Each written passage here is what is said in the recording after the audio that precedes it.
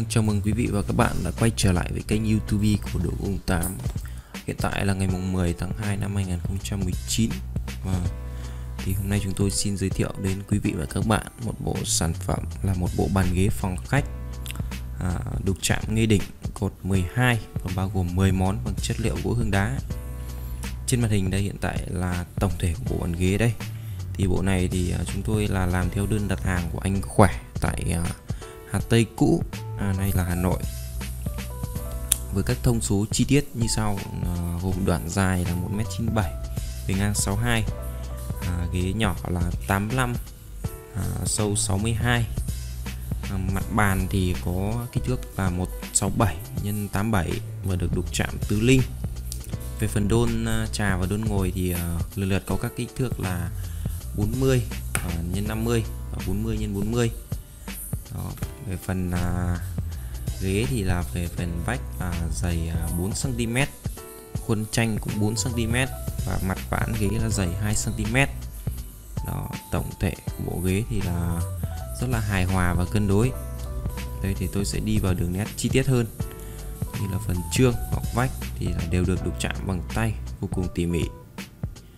Vậy bây giờ tôi xin mời uh, quý vị và các bạn cùng uh, xem chi tiết hơn những uh, phần đục chạm của bộ ghế này.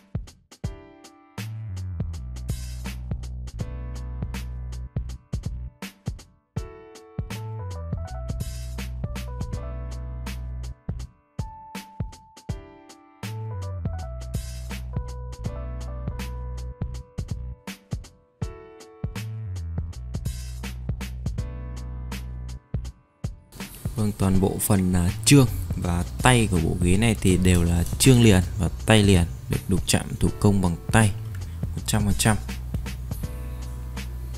Ngoài ra là phần vách thì à, được đục chạm bằng tứ quý tùng cúc trúc mai và có điểm giữa là sen à, cò.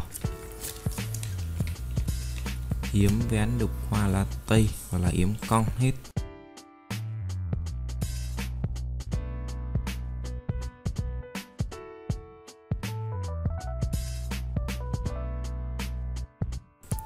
về phần cột thì à, uh, vân gỗ tự nhiên gỗ hương đá rất là đẹp đây. Toàn bộ là chúng tôi là đang để nguyên mộc chưa cạo nạo hay đánh dây giáp gì cả. Vẫn còn uh, nguyên nữa thứ gỗ tự nhiên đây quý vị có thể thấy. Không có chiếc cột nào giống chiếc cột nào. Quý vị có nhu cầu đặt hàng thì là có thể liên hệ với cơ sở đồ gỗ Tùng 8 theo số điện thoại trên màn hình là 0987 510816 hoặc um, truy cập vào website đầu gỗ tùng 8.com xưởng chúng tôi có địa chỉ tại Văn Khúc Cẩm Khê Phú Thọ. Rất xin cảm ơn mọi người đã theo dõi à, hết video. Chúc mọi người có một à, năm mới an khang thịnh vượng và hẹn gặp lại mọi người trong những clip khác.